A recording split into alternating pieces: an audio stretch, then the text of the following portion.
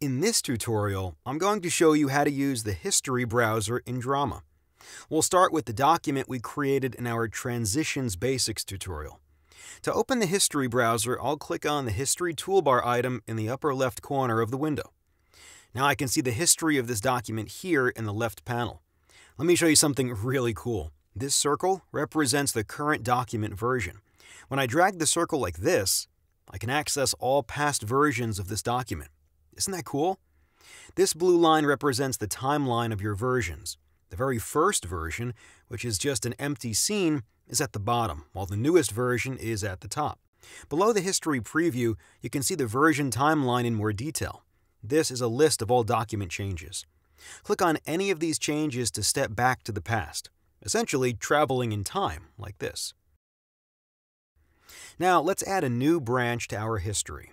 I'll select a really old version here.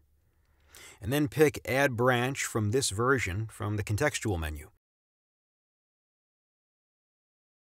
In the History preview, you can see the version timeline has split and now shows two branches of our history tree. Click on the branches like this to switch between them. You can change the name of a branch by double-clicking and then inputting a new name. I'll rename this branch Flat. Now let's see what happens when I make more changes in our branch. With each document change, a new version will appear here. I'll make this a bit larger, like this. And I'll also make the scene smaller. And you can already see some new versions appearing here, so let's continue. I'll add some text here. And let's change the font And maybe the fill color too, like this. And change this text to flat. Okay. Now let's see what happens when I try to undo these changes. With every undo action, the current document version moves into the past, like this. And with a redo action, you return to the future. Let's add one more branch so we can explore a different design direction. This time, I'll proceed slightly differently by simply moving to a past version from which we want to branch, and then make some changes there. So I'll change this color to red. And a sheet with several options appears. I'll choose the Add New Branch option. I'll then rename this branch Round by double-clicking. Okay. Then I'll make some changes to this drawing by increasing the corner radius and maybe making this corner sharp. And I'll use a gradient fill too.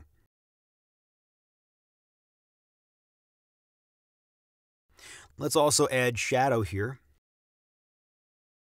That's nearly done, and I'll just change the text to round now.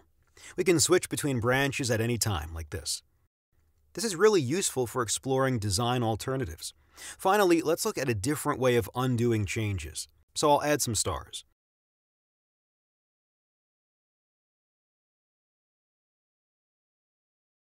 But I've changed my mind and don't want those stars after all.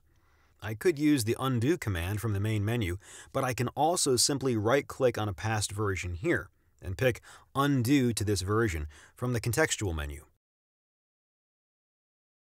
Then these later versions with recently added stars will disappear, just like that.